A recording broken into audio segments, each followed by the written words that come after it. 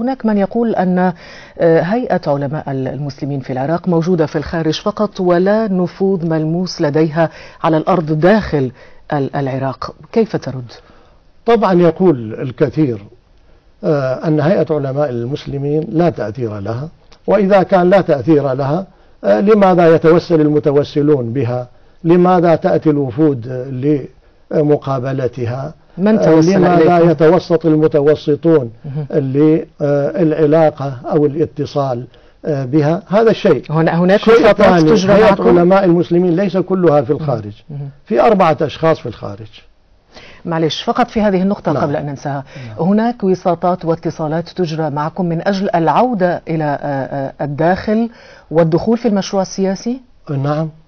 فيه وساطات وفيه طب لماذا لا تستجيبون بعد انتهاء الاحتلال؟ كيف نستجيب إذا لم يتغير مشروع الاحتلال كاملا؟ كيف نتعامل مع حكومة تسببت في مقتل ما يزيد على مليون ونصف؟ كيف نتعامل مع حكومة الآن يقبع في سجونها أكثر من أربعمائة ألف معتقل؟ كيف نتعامل مع حكومها حكومة يوميا يدخل سجونها العشرات وأحيانا المئات؟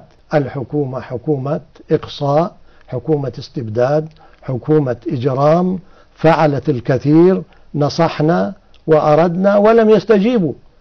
جلسنا معهم سنة 2004 سنة 2005 كما قلت لك قبل قليل ولم يأخذوا بشيء مما اتفقنا عليه. معهم. لو أخذ بها لكان وضع العراق غير وضعه الآن. إلى أن آه، امتلأ امتلأ الظرف ظرفها آه، من الجرائم إلى الحد الذي لا يمكن أن نتحاور معها أو نتعامل